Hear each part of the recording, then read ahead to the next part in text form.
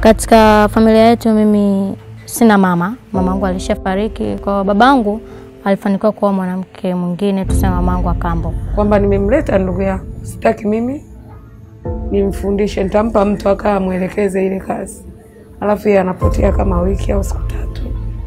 Akaniunganishia kwa watu ambao walikuwa wameshakuwa wazoefu, nikapewa chumu, kasema utakuwa napiga dei wako, kaanza kazi. Wakija wateja, fanya hivi, chua kondomu, uvalishe mteja. Akisha hapo akupe hela yako kabisa, uweke mfukoni. Kwenye hizi kazi akaja hata kaka yako, unafungua mlango unakutana labda ni kaka yako, unapomwona unakimbia, mwanangu ya wajui nafanya nini, tafuta njia ya kukimbilia.